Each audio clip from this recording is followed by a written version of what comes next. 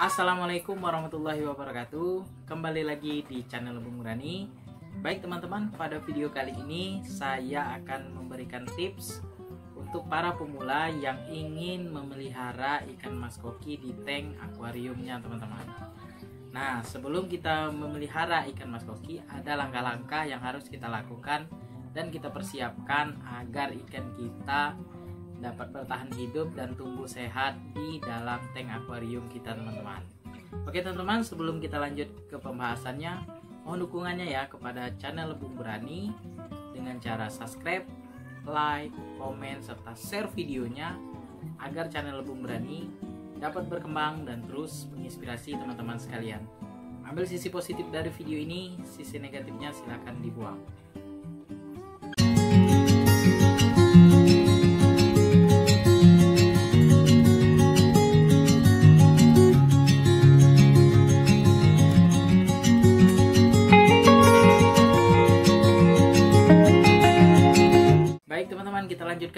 pembahasannya.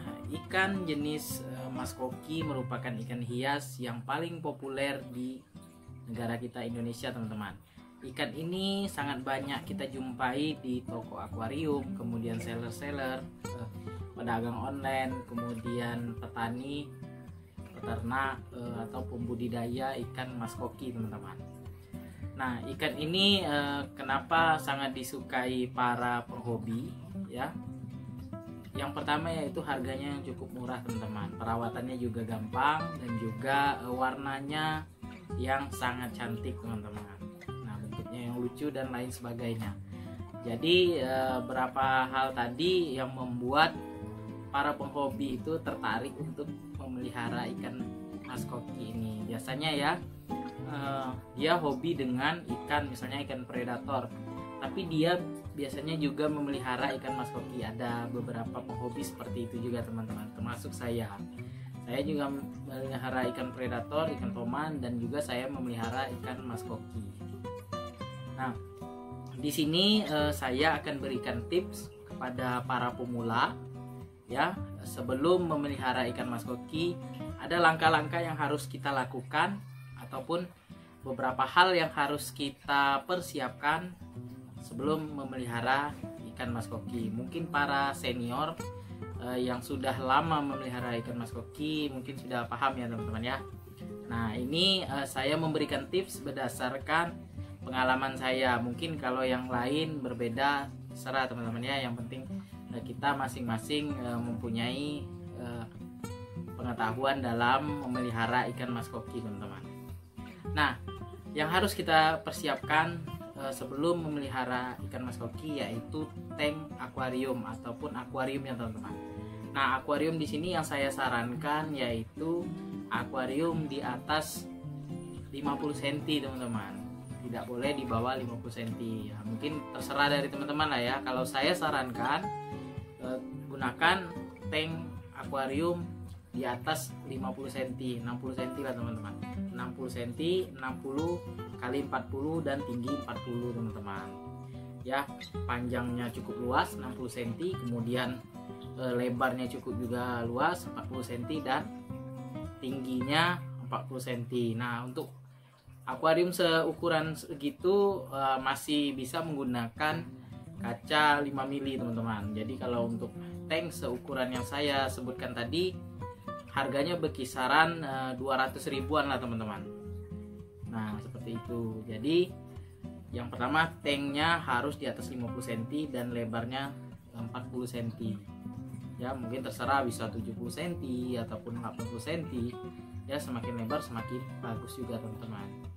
Nah saya sarankan juga untuk teman-teman yang membuat uh, tank satu meteran untuk uh, ikan mas koki saya sarankan uh, gunakan kaca 8 mili teman-teman supaya uh, jaga-jaga karena ya uh, untuk ukuran tank yang cukup besar gunakanlah uh, kaca yang sedikit lebih tebal dari biasanya. Pertama yaitu tanknya teman-teman.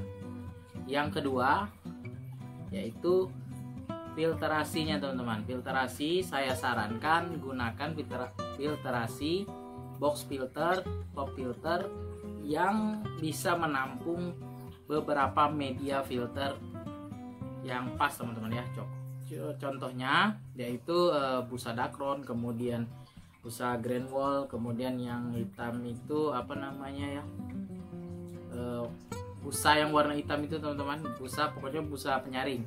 Nah kemudian uh, untuk uh, media filternya cukup pas di dalam di dalam top filter ataupun box filternya teman-teman. Saya sarankan uh, untuk um, supaya filternya bekerja dengan maksimal gunakan top filter kaca kemudian top filter uh, talang teman-teman. Seperti itu. Jangan medianya jadi uh, cukup banyak teman-teman. Karena ya ikan mas koki ini uh, boleh kita katakan ikan raja kotoran teman-teman. Raja kotoran di sini maksudnya uh, sangat banyak sekali kotorannya teman-teman. Jadi kalau kita menggunakan media filter yang tidak maksimal ya. Kita contohnya menggunakan top filter yang biasa dijual di pasaran ya. Eh, itu kurang pas lah untuk ikan mas koki. Eh, yang notabene di dalam tank kita itu lebih dari 5 ekor teman-teman. Jadi saya sarankan menggunakan top filter kaca ataupun top filter talang. Kalau misalnya seperti saya menggunakan eh, top filter terbuat dari toples itu ya ukurannya uh, cukup besar dan bisa menampung media filter cukup banyak teman-teman. Jadi uh, masih bisa digunakan. Jadi kalau teman-teman mau buat top filter dari toples uh, sah-sah saja teman-teman. Tapi uh, ukuran toplesnya harus uh, di atas uh, 30 cm lah teman-teman. Jadi kita lebih banyak menaruh media filter untuk akuarium ikan mas kita. teman-teman Nah, yang ketiga yaitu pemilihan e, ikan yang bakal kita pelihara, teman-teman. Nah, untuk para penghobi pemula, ini saya sarankan jangan langsung membeli ikan mas koki itu yang e, jenisnya ataupun e, apa namanya ya e, harganya yang mahal lah, teman-teman. Nah, kenapa demikian? Ya, karena kita kan baru belajar nih, baru belajar memelihara ikan mas koki. Jadi misalkan kita beli yang harganya biasa-biasa saja. Misalnya eh, harganya 20.000 50.000 sampai 100.000 lah teman-teman. Nah ikan mas koki ini ada juga yang harganya jutaan teman-teman. Ada yang 500.000 700.000 dan lain sebagainya. Nah itu berarti eh, ikan mas kokinya itu kualitasnya sangat bagus teman-teman. Jadi harganya juga mahal. Jadi untuk para eh, penghobi pemula saya sarankan beli ikan yang uh, harganya di bawah 100 ribu lah teman-teman. Nanti kan kalau kita uh, belum lah kalau ikannya uh, semakin mahal ikan tentu saja perawatannya lebih bagus teman-teman. Nanti kalau kita uh, belum tahu betul dengan perawatan ikan mas boki tentu saja nanti ikannya bisa mati. Jadi saya sarankan belilah ikan yang harganya di bawah 100 ribu lah ya. Banyak di toko-toko akuarium kemudian seller-seller kemudian pedagang online di uh, Facebook Instagram dan lain sebagainya. Jadi pemilihan benih ya kita yang penting ikan itu sehat teman-teman. Ikan itu sehat berenangnya stabil ya bagus tidak ada uh, sisipnya yang cacat kemudian ekornya juga tidak cacat nah warnanya juga cerah nah silakan dibeli teman-teman seperti itu Nah, yang keempat yaitu untuk e, melihara ikan mas koki ini ya usahakan ikannya di atas 4 ekor teman-teman. Kita tidak bisa memelihara ikan mas koki ini satu atau dua ekor. Mungkin ya eh, teman-teman yang lain ada yang memelihara di dalam satu tank itu dua ekor. Ya, terserah teman-teman ya. Ini berdasarkan pengalaman saya. Kalau pengalaman saya ikan eh, di dalam tank yang jumlahnya dua ekor saya pernah letakkan di dalam tank 50 cm saya. Dan Mas Loki eh, sebanyak dua ekor. Itu ikannya berenangnya tidak aktif teman-teman. Nah setelah saya masukkan eh, dua ekor lagi nah itu baru kelihatan aktif dan makannya juga lahap. Mungkin ya eh, seperti kita lah manusia ya. Nah, di dalam lingkungan kita ramai ya teman-teman kita ya, ya tetangga-tetangga kita jadi kita merasa uh, nyaman tinggal di lingkungan tersebut. Jadi uh, sama halnya dengan ikan mas koki. Jadi di dalam tank itu usahakan ya di atas 4 ekor lah teman-teman. Nah, tanknya kurang 60 cm ya ikannya bisa 6 ekor sampai 8 ekor teman-teman. Seperti itu. Jadi eh, ikannya aktif berenangnya berinteraksi dan dia ada temannya di dalam tank akuarium. Beda ya teman-teman ya ikan mas koki ini bukan ikan predator. Kalau ikan predator kan seperti ikan toman ikan arwana itu tidak bisa digabungkan dengan ikan sejenisnya. Takutnya dia berantem ya berantem ataupun dia e, saling serang teman-teman. Jadi kalau saling serang kan nanti ikannya akan mati teman-teman. Nah yang kelima yaitu beri tank mat untuk e, ikan maskokinya teman-teman. Nah tank mat di sini kan e, berbeda dengan e, banyaknya ikan yang kita pelihara di dalam tank akuarium teman-teman. Tank mat di sini maksudnya e, ikan selain ikan maskoki yang ada di dalam tank akuarium teman-teman sekalian. Ya yang pertama yang saya sarankan gunakan ikan yang pemakan lumut teman-teman. Terserah teman-teman mau gunakan ikan sapu-sapu ikan sapu-sapu albino kemudian ikan uh, sinodontis kemudian ikan apa namanya ikan uh, algaiter yang lainnya lah teman-teman. Boleh juga menggunakan keong turbo. Keong turbo kan makan lumut juga teman-teman. Tapi saya sarankan ikan uh, pemakan lumut. Kemudian ikan uh, menpis menpis di sini uh, tugasnya biasa ya ikan menpis biasa yang saya uh, pelihara di dalam tank akuarium ikan mas koki saya ikan menpis dan ikan sumatera ikan menpis ini bertugas misalnya ada kutu di uh, tubuh ikan mas koki kita ya.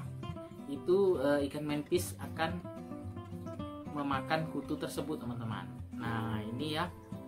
Ini sebagai tips supaya ikan teman-teman sekalian tidak uh, diserang oleh kutu. Kutu jarum baik itu yang kutu-kutu yang ada di tubuh ikan maskoki kita teman-teman nah yang keenam yaitu uh, air teman-teman. Air di sini maksudnya kalau kita memelihara ikan hias tentu saja kita juga memelihara airnya teman-teman. Jadi maksudnya di sini air ataupun kualitas air harus selalu bersih teman-teman. Selain e, air itu difilterisasi oleh media filter kita dan filter kita. E, kita harus juga menyediakan air yang layak untuk hidupnya ikan-ikan kita di akuarium teman-teman. Jadi gunakanlah air misalnya air sumur ya air ledeng yang penting bersih dan juga tidak ada rasanya teman-teman. Tidak ada rasa misalnya kalau kita cium airnya itu bau amis ya itu tidak layak untuk ikan kita. Kemudian airnya ada rasa misalnya ada asin seperti air laut itu tidak bisa kita gunakan di tank akuarium kita. Kemudian air yang berwarna teman-teman. Misalnya airnya agak sedikit kuning. Nah kita masukkan ke tank kita. Kita berharap air yang kuning tadi bisa uh, menjadi bening karena diputar oleh filter kita. Jadi uh, gunakanlah air yang bersih di akuarium kita.